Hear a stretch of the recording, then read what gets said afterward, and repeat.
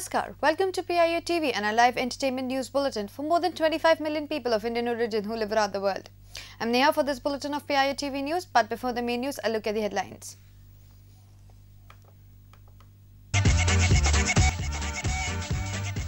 Aaja Nachle was challenging for Salim Suleiman.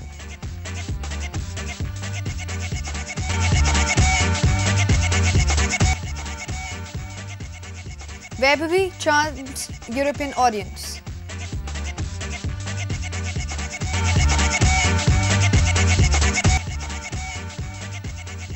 David Dhawan takes a long sabbatical from direction.